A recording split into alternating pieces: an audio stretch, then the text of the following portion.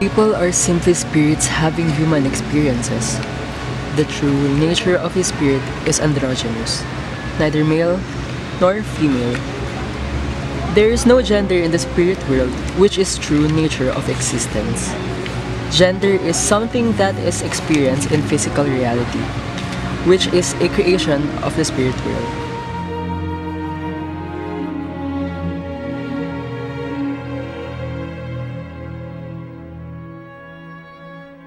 I'm Todd, by the way. And I guess I can consider myself as a regular human being. As a child, I grew up in a family where I knew that I belong. My family owned a business company and we live in beautiful home.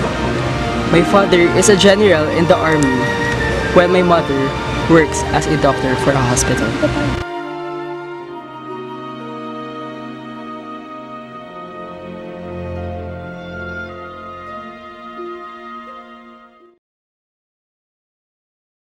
I love painting. It has been my passion ever since I was a kid. I've always enjoyed the idea of creating an image out of nothing. Constructing an image in my head and then testing myself to see how creative I can portray that picture on a canvas. Being an artist is not an easy task because of the wide population of artists, and you really need to have your edge as a painter.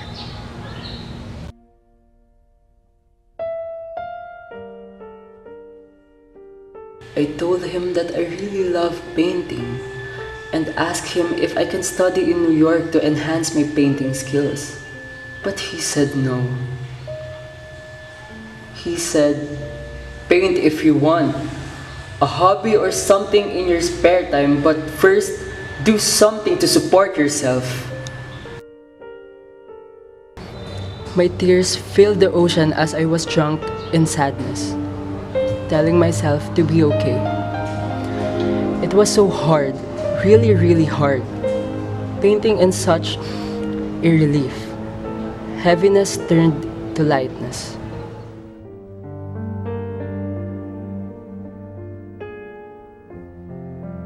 The moment I woke up the next morning, I thought that everything would be alright. I stood up hearing an unbearable noise coming from the outside of my room. As I walked out of my room, I saw my parents arguing and shouting at each other for the last time. My mother gave up on our family.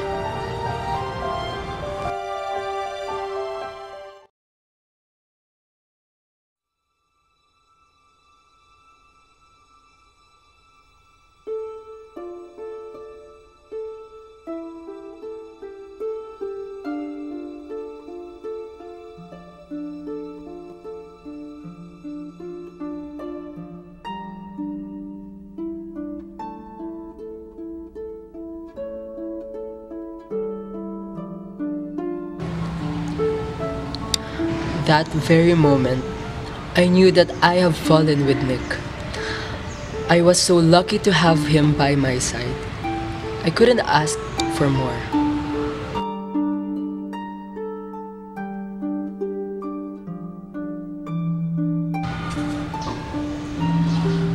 Nick is such a good guy. He's very down to earth, and anyone would feel lucky to have him. It's such a relief to paint his face.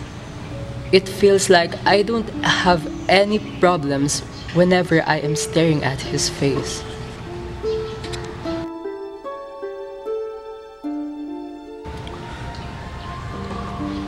It was a fine day. Not until my father saw me kissing Nick's painted face. What the hell is this, Todd? Tell me! Dad, let me explain. Explain what? I've seen it with my own eyes. I'm sorry. I'm sorry. Are, you're sorry?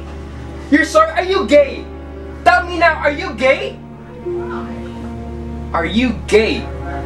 Yes, Dad, I'm gay. You're nothing to me.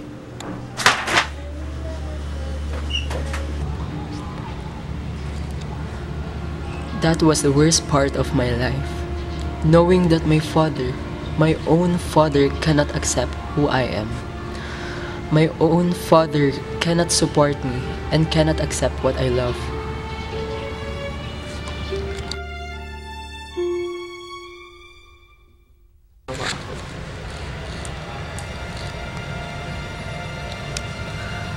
I held a blade, thinking that by ending my life is the only way to escape my problems. I thought that when I am no longer in this world, all my miseries, pain, anxiety will be gone. But there was someone who held me longer. I tried to express my misery to the world through posting tweets about miseries and rants. Someone in the crowd stood by my side to fight this battle, and that someone was Nick. He inspired me continue my life despite of everyday struggle. Thank you for staying by my side. Bye.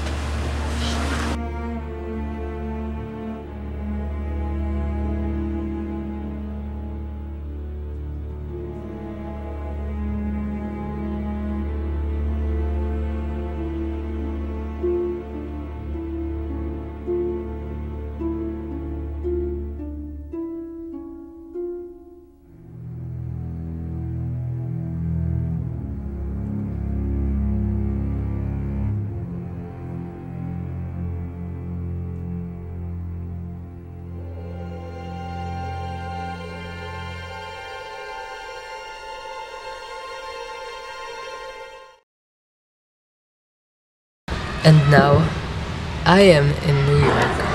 I got a scholarship to study in New York School of Arts. Luckily, I graduated after four years and got a stable job. Got a house and living now in New York for good. I also have the career I really love, which is painting. I also join marathons and during my spare time, I do running. Hello, Todd. How are you doing? Hi, babe. I'm fine. I just finished the run for this day. I was about to go home right now. You need something? Oh, great. I was supposed to ask you if we could spend the night together. I'll be fine with that. I'll go in home now. Okay, I'll be waiting. Bye, Todd.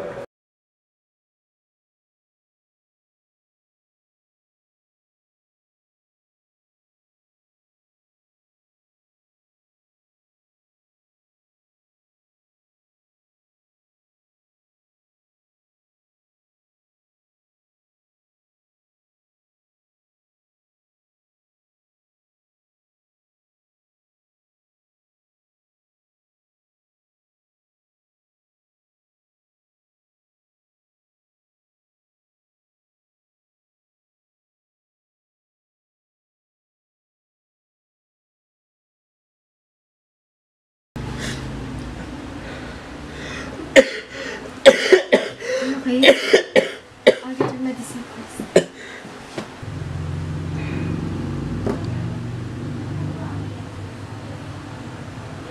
Wala, ba't kailangan naman?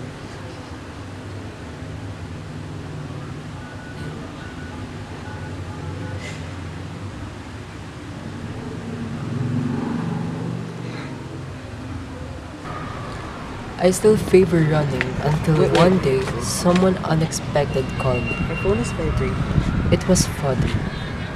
My own father that I didn't see for a long period of What's time. this? Todd?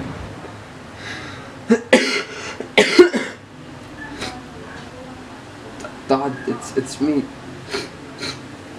Yeah, How it's how is it going? Da- Dad? How did you get my number? Nick gave it to me.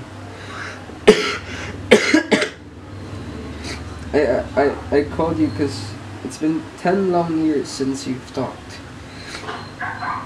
Ten long years of not seeing each other.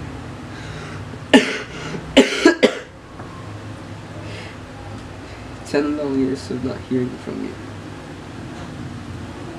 I miss you, son. I cannot believe what I just heard.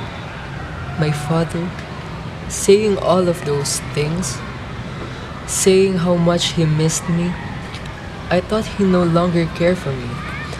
But then, he called me first after 10 long years. Could, could I ask if you could go home now? Since it's almost it's almost Christmas. I want to celebrate it with you. It's been a lot of Christmas and we haven't seen each other. I I really really hope you could come. I already hung up the phone. I don't know what to say or what to react. I don't know if I wanted to grant my father's wish or no.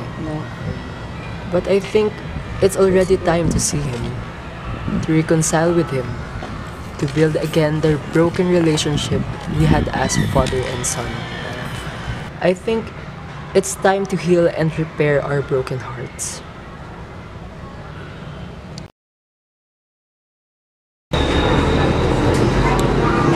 I decided to come to my father's home.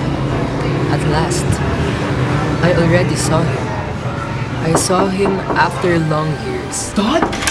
He was very different from the man I used to know. Dad! The man I used to live with. The man I used to fine be my now. father. now. He was different. I'm, I'm I saw now. how Now much he here. had changed. From physical How's- appearance how's- up to who Come- is come he sit. now. How's life in New York, son? It's okay. I have a great career this. Fine.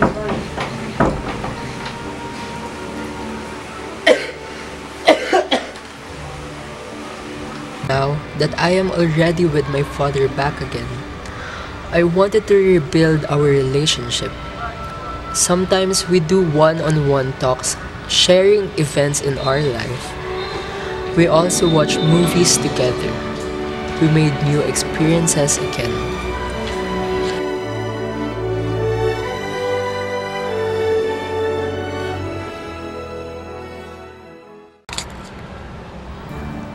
I woke up one day seeing my father alone in our living room. I saw him with a sad face. He was like devastated. I asked him what happened. With a thin smile on my lips, I wanted my dad to feel my presence. That even Helen left him, I'm still by his side.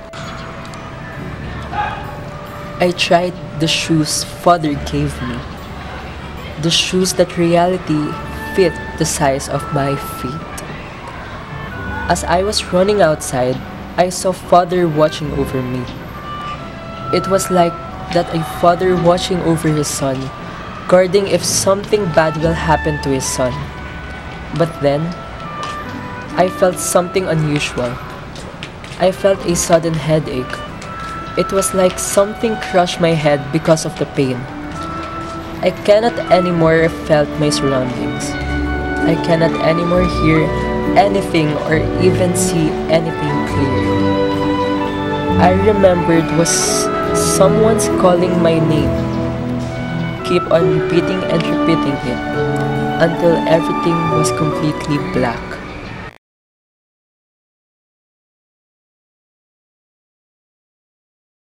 He said that he will never leave me and he will always stay by my side, especially on the day that Helen left me. At the end, he still left me. But I cannot blame him because now he's in a better place. A place where there's no discrimination and hatred. A place where love and acceptance is seen and shown place that he can continue what he loves doing. Someday will be our venue to meet and live again, and I cannot wait for that day to come. The day that I will meet my son again, my one and only son.